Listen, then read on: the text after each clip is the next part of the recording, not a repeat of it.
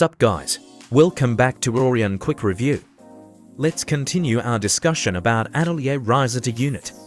Patricia is the last unit in this list. Without further ado, let's see her kits. Patricia is a 5-star fire detonator.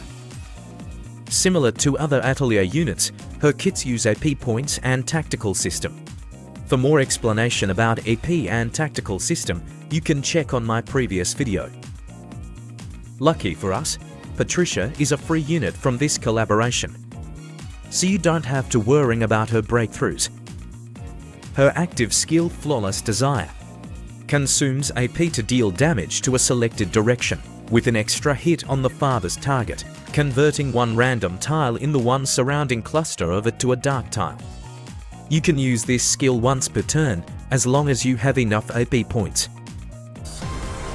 私の間合いからは逃がさない後悔と共に消えなさい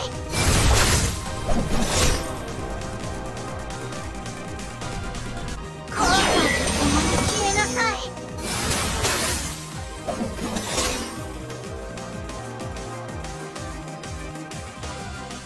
Her chain combo Blade Dance. At tier 3, deals damage to the two surrounding clusters.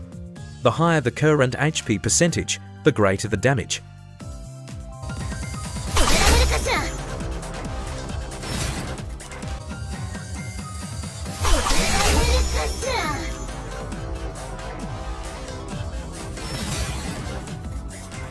Her equipment skill, Noble Etiquette, gains tactical points after using the active skill. Patricia also has the equipment refinements. Refinement 1. Increase the tactical points gained after using the active skill. Refinement 2 increase the active skill damage output. Refinement 3 increase the tactical system cap level. Her BT3 and MBT are similar to other Atelier Ryza units. BT3 gains AP at the beginning of each battle. MBT restores AP after using the active skill.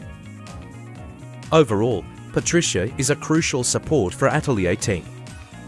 Her free MBT gives you extra AP in the battle. Don't forget to get her and her Solombas before end of the event. I think that's all I can say about Patricia, Flame Dancing Aris. Don't forget to get her and all of her Solombas. If I missed something, kindly write it in the comments section. Thanks for watching, stay safe and sane, and see you in another video.